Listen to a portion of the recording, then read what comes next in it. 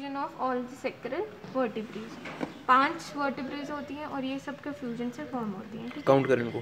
One one two three four five ठीक है अब चलो। ठीक है? ये फ्यूजन है। अब सेक्रम में दो बॉर्डर्स दो सरफेसेस और base and apex base and apex ठीक है? सबसे पहले हम पढ़ते हैं ये है इसका बेस और ये है होएगा base? apex. Wider base narrow apex ठीक है? डॉर्सल सरफेस ठीक है। वेंट्रल सरफेस और दो लेटरल बॉर्डर्स ये दो लेटरल बॉर्डर्स ठीक है?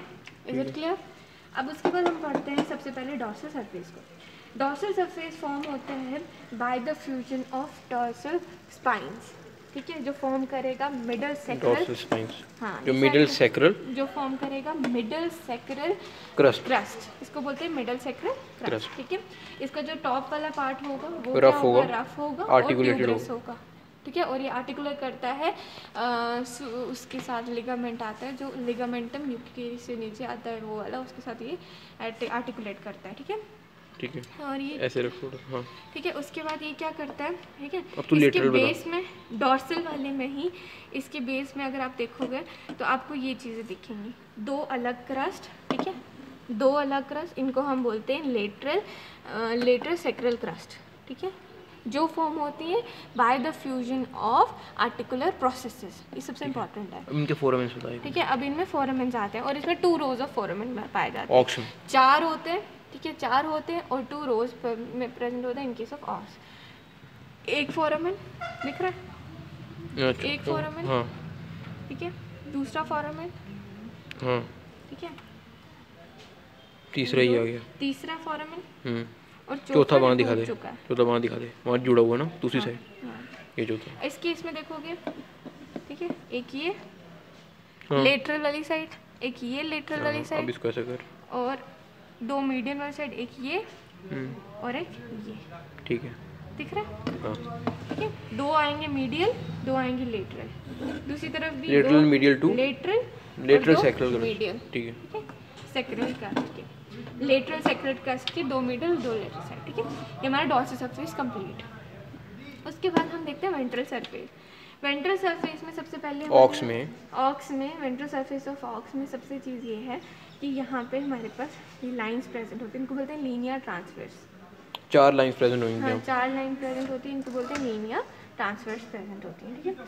उसके बाद यहाँ पे एक ऐसे एक ग्रूव सी आती है। इसको हम बोलते हैं सेल्कस वेस्कुलोसिस ये पास करती है sacral artery middle it is a ventral surface it forms the roof of pelvis हाँ पहली बात ये पेल्विस की रूफ फॉर्म करती है। ये पूरा ventral surface forms the pelvis का रूफ ठीक है?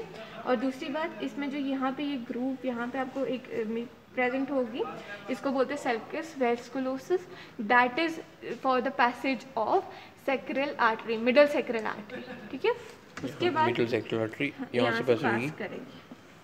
ठीक है इसमें यहाँ पे आपको चार फोरामेंट्स मिलेंगे वेंट्रल फोरामेंट्स ठीक है? एक दो तीन चार ठीक है जहाँ से ventral branches of sacral spinal nerves pass करेंगी और यहाँ से dorsal branches of dorsal branches of in foramen से dorsal branches of sacral spinal nerves pass करेंगे। ठीक है? क्लियर है? उसके बाद वेंट्रल सरफेस अब इसको अटैच कर इलियम के साथ। नहीं, नहीं, क्योंकि यहाँ पे सार- वेट अ मिनट मैं तो पता कब करना सबसे पहले हम बेस पढ़ेंगे ठीक है? बेस वाइडर होता है ठीक है?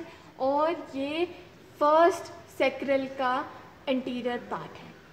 ठीक है? इट शोज़ द बॉडी ठीक है? फ़र्स्ट सेक्रल की body anterior part of first sacral forms the base of the base of the sacrum ठीक है? और इसके पास ये होता है कि हाँ इसमें ये चीज़ें होती हैं कि ये ऐसा होता है फ्लैटर होता है स्लाइटली कॉन्वेक्स और यहाँ पे नॉचेस होती हैं।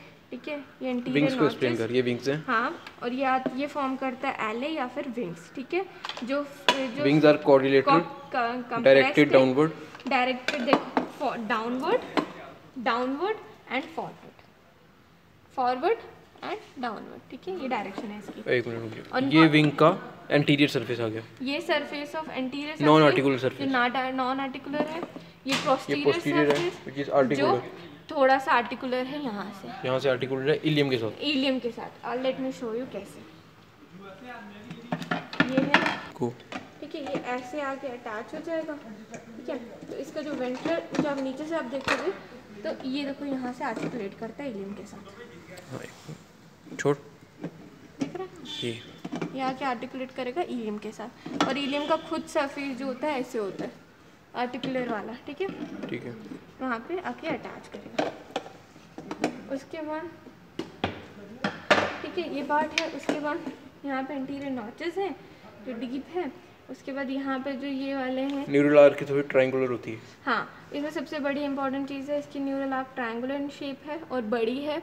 जब आप प्रोस्टीरियर एस्पेक्ट पे देखोगे वो छोटी आ जाएगी ठीक है? ये फॉर्म करेगी इंटरवर्टेबल किनार जो प्रोस्टीरियर एंड पे एंड होगी ठीक है? और इसके ऊपर यहाँ पे ये प्रोसेस आर्टिकुलर सरफेसेस होती हैं ठीक है?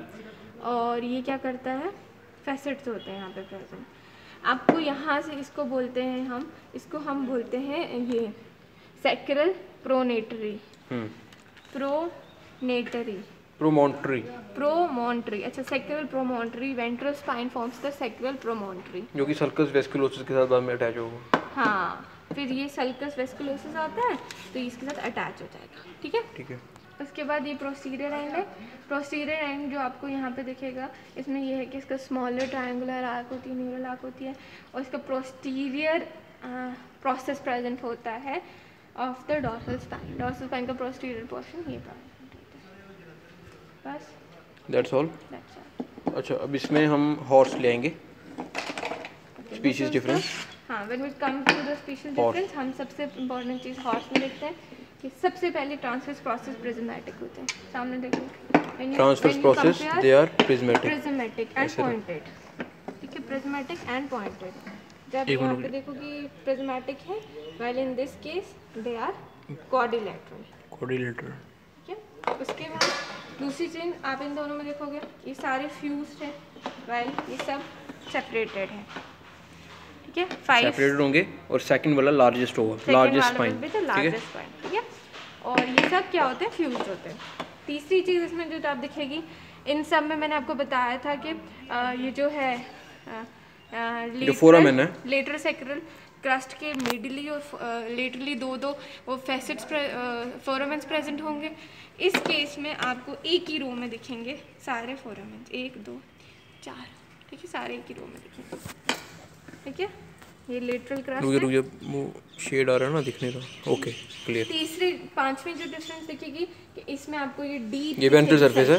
हाँ ये वेंट्रल सरफेस है इसमें डीप दिखेगा और दूसरी बात इसमें जो हमारे पास लीनियर ट्रांसवर्स है वो नहीं दिखी है दिख रही है? नहीं ना? लीनियर ट्रांसफर्स लीनियर ट्रांसवर्स ऐसे वाले? ऐसे ऐसे वाले होते हैं वो नहीं डिस्टिंक्ट ओके ठीक है? बस हो गया इसमें। हाँ और इनमें नॉचेज होती हैं ये। आपको ये दिखेगा, इसमें ये चीज़ दिखेगी। हाँ अब दूसरी दूसरी इंपॉर्टेंट चीज़, सबसे इंपॉर्टेंट चीज़। इसमें ये आर्टिकुलर सरफेस है ओवल शेप का, ठीक है? ये ओवल शेप अटैच करता है लास्ट लंबर वर्टिब्री को। लेकिन इस केस में ये पूरा पार्ट जो है, ये वाला आर्टिकुलर सरफेस है, ये वाला आर्टिकुलर सरफेस है ना, ये अटैच होता है to the last lumbar vertebrae in case of ox इस केस में यहाँ पे ओवल शेप आर्टिकुलर सरफेसेस होती हैं। ये अटैच करती हैं लास्ट नंबर वर्टिब्रे को, ठीक है? उसके बाद हाँ एक और चीज़, जैसे उस केस में यहाँ पे नीचे वाली साइड जाके इलियम से, ठीक है? प्रोस्टीरियर पार्ट ऑफ़ विंग्स का जो है, उसमें ये आर्टिकुलर सरफेस होती है, ये अटैच करती है इलियम से। इसी केस में, इसमें प्रिज्मेटिक ट्रांसफर्स जो है हॉर्स में, इसमें भी क्या होता है आर्टिकुलर सरफेस से ये इलियम से जाके अटैच हो, ठीक है? बस, ये